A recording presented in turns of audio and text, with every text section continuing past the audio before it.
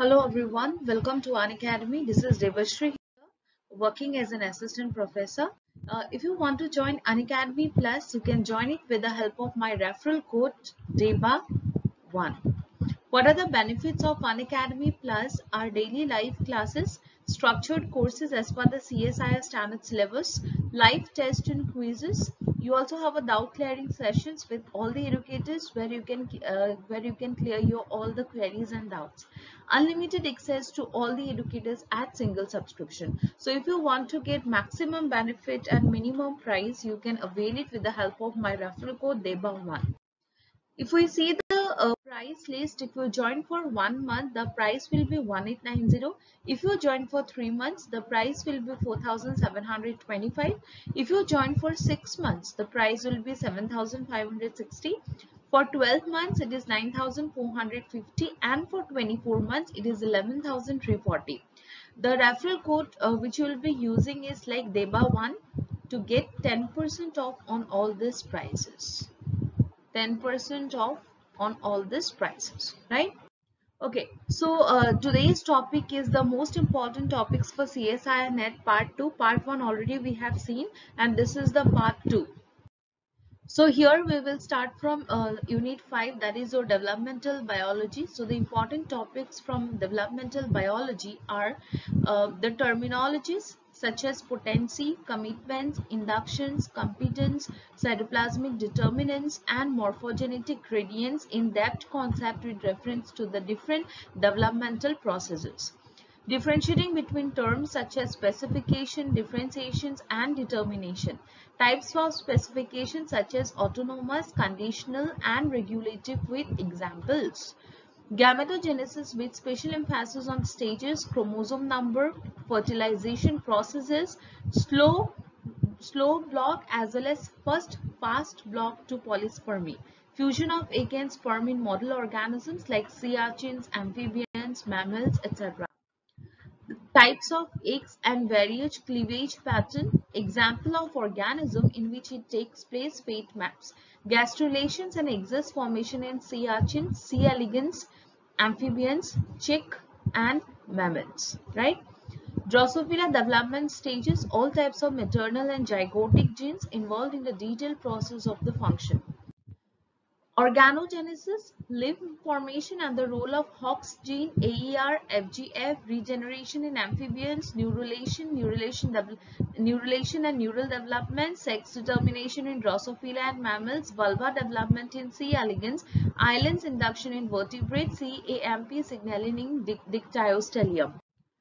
Coming to unit 6 that is your plant physiology. So here the important parts are phytohormones, all the plant hormones, precursors, biosynthesis and function. Special attention to the signaling pathway should be given. Stomatal opening and closure by various uh, tr uh, various triggers. You have to you have to also remember the names of the compounds which triggers the closure and opening of the stomata right? Solute transport throughout the plant body is relatively uh, an easy topic. However uh, this water water potential concept diffusion osmosis though these are easy topic but these are very much conceptual. So you have to yes you have to revise it. You have to go through those topics. Next photosynthesis c2 c3 c4 cam pathway TCA photorespiration, oxidative, oxidative phosphorylation, cyclic and non-cyclic photophosphorylation. So these are also important topic for uh, C2 photorespirations, right? For C, C3, C4 CAM, cressulin, crassulacean, acid metabolism pathway, TCA cycle, glycolysis also we have all, already seen glycolysis in part 1 that it is important. Glycolysis also cover up in uh, unit you can say 6. So these are the important topics from unit 6 apart from this stress biology where we will be where we deal with the biotic and abiotic stress ABC model of the flowering plant, nitrogen cycle, nodule formation, nod genes, sensory photobiology, these all are very important. Activation, right? Okay, coming to animal physiology, cardiac cycle, heartbeats, blood pressure, blood volume regulation, different serum content. The endocrine system, various hormones, their secretion site and functions. Kidney filtration system, structure, functions of different parts of a nephron, different neurotransmitter and action potential, ECG. And ECG, which wave stands for what? If we talk about P, P stands for P represents what uh, what phenomenon. So these waves according to their uh, according to their what they are representing that is also important right gaseous exchange between uh, hemoglobin myoglobin their behavior with oxygen reproduction, sense organ, muscle movement units. These all are very important concepts, right?